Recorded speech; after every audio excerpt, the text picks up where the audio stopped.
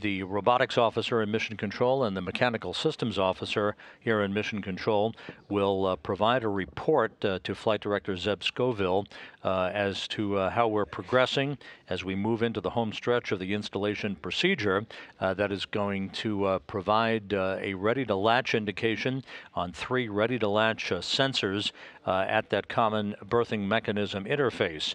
At that point, um, Dragon will be ready to be bolted into place.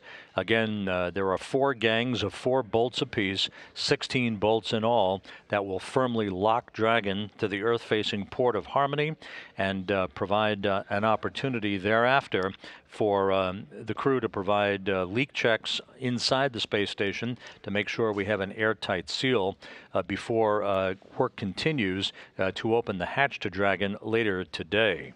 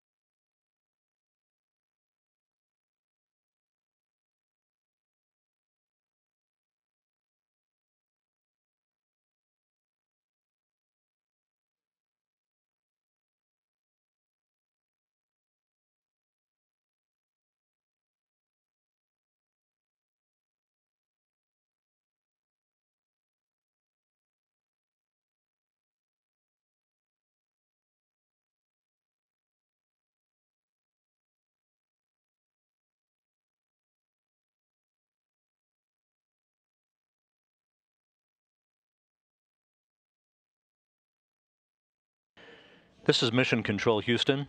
The uh, mechanical systems officer here in Mission Control has now confirmed second stage capture. Dragon is now bolted into place on the uh, Earth-facing side of the Harmony module of the International Space Station, a permanent fixture for the next 30 days.